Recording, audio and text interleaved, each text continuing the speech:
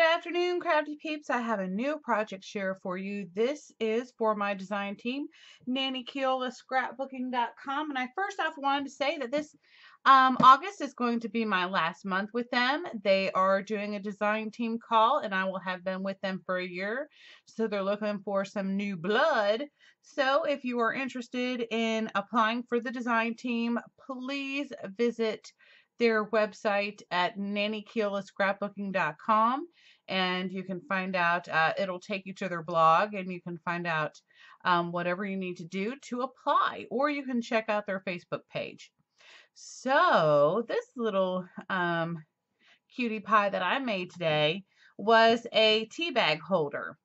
Um, and I originally got this from Saw Crafters um, last year when I was at uh, the Arlington um, scrapbooking expo and I helped her out.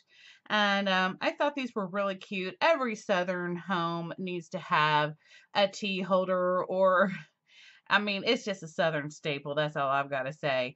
Um, I do drink iced tea, um, but maybe not a lot of whole people do. Um, but I can say that um, I thought that this came out really cute. I'm going to be putting this up for sale. And I've decided to open up a little Etsy shop um, to start selling some of my items. But um, that probably um, will happen within the next week or so. Um, and I'm also getting ready for a craft fair. So if I don't sell this on there, I'll definitely take it to the craft fair with me. So, um, I love how it has a little door here.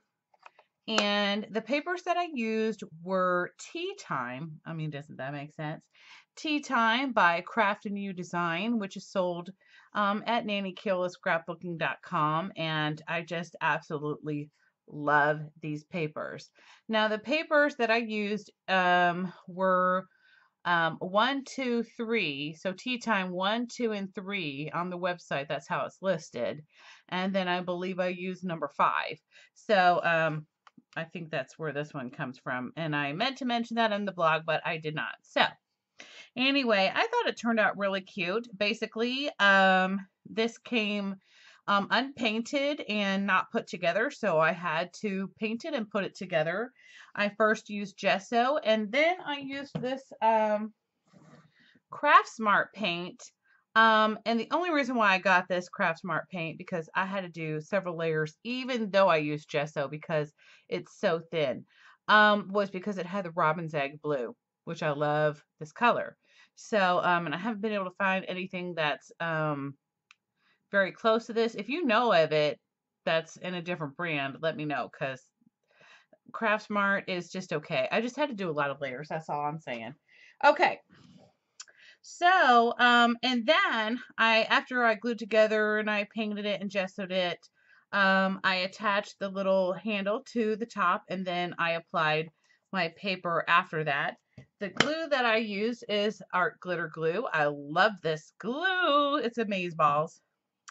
And then, of course, I just finished off the bottom with paint.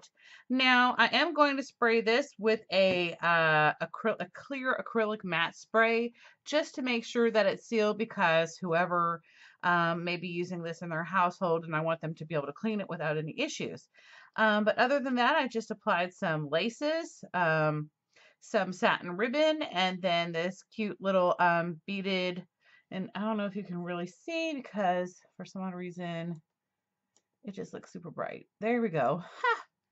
Okay. Um, this little beaded trim, and then I added this little pearl thingy. I don't know what it's called, but I thought it looked really cute. And um, but that's it for my little project share. I hope y'all like it. Um, I hope to make several of these, but different kinds um, or different uh, colors too. So anyway, I hope y'all have a wonderful and fabulous day. Bye y'all.